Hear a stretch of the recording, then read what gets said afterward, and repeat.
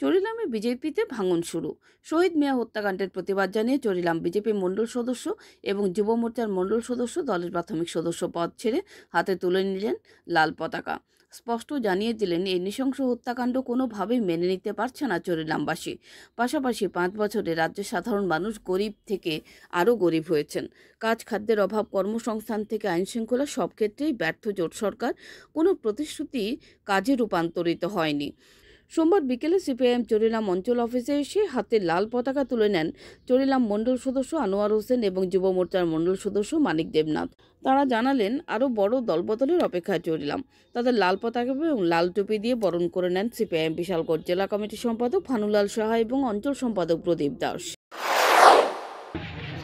আমাদের একজন হলো মণ্ডলের সদস্য আনোয়ার হোসেন হলো মণ্ডলের সদস্য এবং শরীরাম মণ্ডলের যুব মোর্চার সদস্য হইল, অঞ্চল সদস্য হইল, মণ্ডল সদস্য হইল, মানিক দেবনাথ। এই দুজন আমাদের দলে, আজকে থেকে আমাদের দলে কাজ করার জন্য এসেছেন এবং পতাকা নিয়ে সেখানে আমাদের দলে আগামী দিনে কাজ করবেন। দিন রাত